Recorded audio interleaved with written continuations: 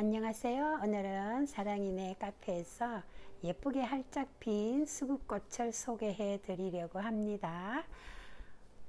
수국은 오래된 가지에서는 꽃이 피지 않아요. 오래된 가지는 잘라주면 새로운 가지가 나와서 이렇게 예쁘게 꽃이 핀답니다. 이 수국나무는 2017년도 백세의 하늘나라로 가신 권사님 집에 한 3년 가까이 정신 차려 드린 적이 있어요. 그때 가면 식탁 앞층 창밖에 예쁜 수국이 피어 있었어요. 너무 예뻐서 꽃이 지고 나면 그 꽃을 자르고 가지를 가지고 집에 와서 꽂았더니 이렇게 많이 자, 자랐어요. 이 꽃은 너무 예뻐서 제가 홈디포에서 가서 하나 산 거고요. 저는 거의 화분 사지 않고 끝꽂이나 씨앗으로 하초를 늘리고 있어요. 이 수국이 너무 예뻐서 저희 남편 영전 사진 찍자 하고 찍은 사진이에요. 이렇게 흙도 채워주고 근사님 집에 갈 때마다 근사님은 항상 이렇게 기도해 주세요. 많은 사람들에게 베풀고 많은 사람들에게 칭찬 듣는 제가 되라고 기도해 주셔서 저는 권사님 생각하며 오늘도 열심히 노력하며 살아가고 있어요.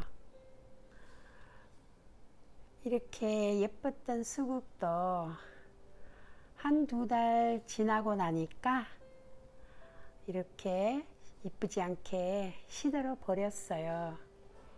그러면 이 시든꽃은 잘라서 버리고 그 가지는 두 마디씩 남기고 잘라서 화분 옆에다가 꽂아두면 이렇게 수국나무가 되어요. 이것은 작년에 한 그루 성공한 거예요. 원래는 신경 써서 많이 많이 이렇게 꽂아 두었어요. 그러면 내년에는 훨씬 많은 수국들이 생기겠죠? 어, 지난주에 저희 목장에서 하초가 많은데 어, 그냥 주면 미안해서 못 가지고 가니까 어, 성교비 마련하며 하초를 팔면 좋겠다고 해서 지난 어, 그저께 온 미디어 사역팀 집사님에게 그 얘기를 했더니 어, 자기가 하나 사가겠다고 고마워했어요. 그래서 어, 새 아이디어가 생겨서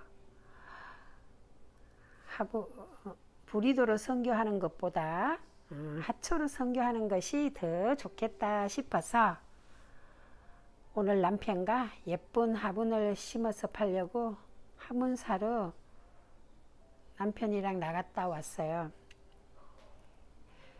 사랑이네 카페를 통해서 어, 미얀마 교회에 화장실도 지어줬고 또 어느 분이 성교비 주셔서 이번에 붙여드렸더니 어, 미얀마의 코비드 때문에 산소통이 많이 부족해서 산소통을 미얀마에 보내드렸대요.